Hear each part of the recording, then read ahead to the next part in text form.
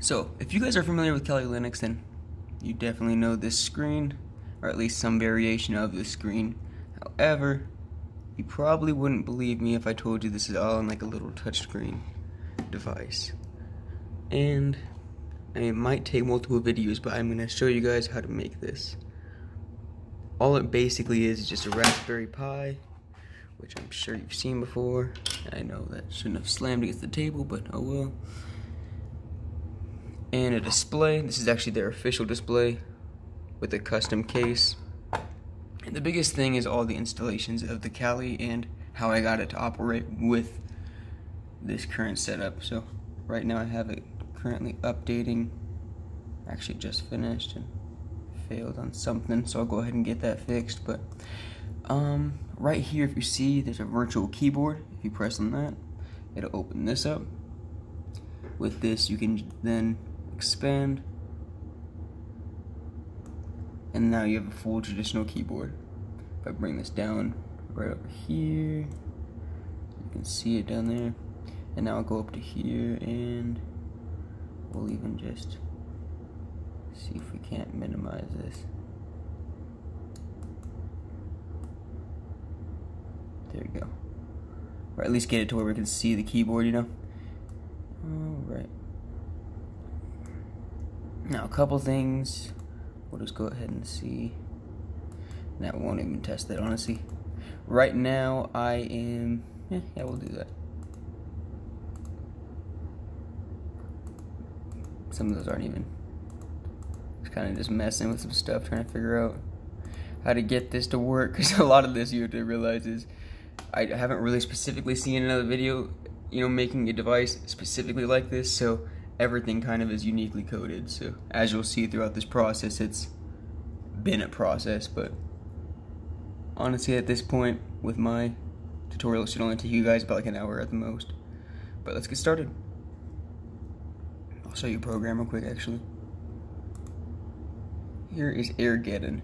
Airgeddon is cool because Airgeddon would allow me to do like a man in the middle attack, meaning you're connected to one network, correct? And um, basically, what I do is um, deauth you so you get disconnected from your network. Not only that, but I pretend to be your network after the fact, meaning you connect to mine. You know, your computer doesn't know the difference between your network and my network. So let me go ahead and just continue with this. Alright, upon reviewing the footage, you just noticed I didn't explain why you'd want to do that you know, you know, give them your internet connection. Basically, what you're doing, even though you're serving them web pages, you're also stealing their input. So any packets they send, as far as you know, anything coming from them or coming from the web server, is being transmitted through you. So I'm seeing everything, and those are called packets. Basically, I'm spying on each one and kind of seeing, you know, if I can find a credit card or some user information that's what a hacker would be doing. Uh, and then also, I didn't explain the packets as far as the deauthentication.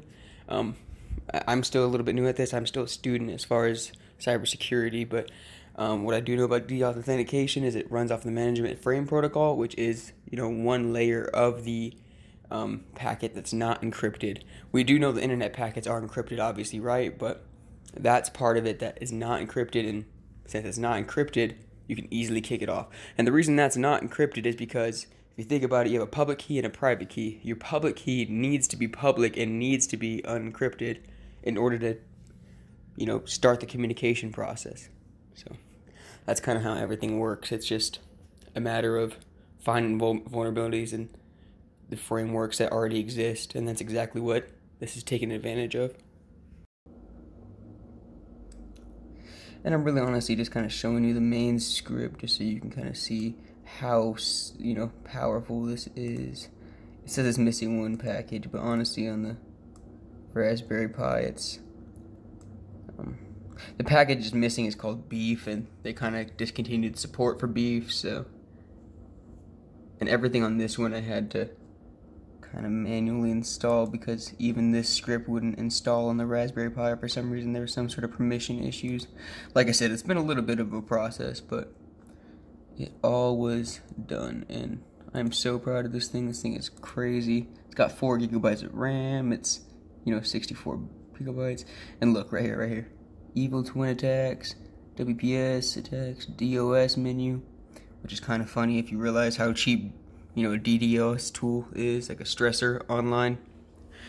Which, by the way, that's be a future topic if you ever wanted to hypothetically kick off your own network, since that's all we really pen test on. That's the thing you would use. You wouldn't just use one single denial service. But anyway, this is actually a deauthor board in itself. And I can put a link for this one too in the description. Um, mean, it does the same thing that this thing does, but just the one action. And the reason I would recommend getting one of these, if you're gonna even, I mean, if you're gonna go on the venture and make one of these, you're already spending some money, so might as well spend like an extra 25 bucks, 30 bucks, I think this was on Amazon. Basically, what this does is allows you to press one button with this, you know, console, disabling the network, and then all you have to do to set up the Evil Twin now is select Evil Twin. I mean, because all you're doing is just set up, up the secondary network your deauth's already done. You don't need to do it on this device. So as you can see, it's already scanned. I'm just gonna go over here, select access points. I mean, I don't want to do anybody else's. And mine are hidden, so I mean, I really can't show you guys that right now. I mean, not that it wouldn't work on a hidden network, but there's two, and I'm not sure which one the other one is. So, don't want to. In an effort of avoid breaking the law, I'm not going to do that. But let's get started.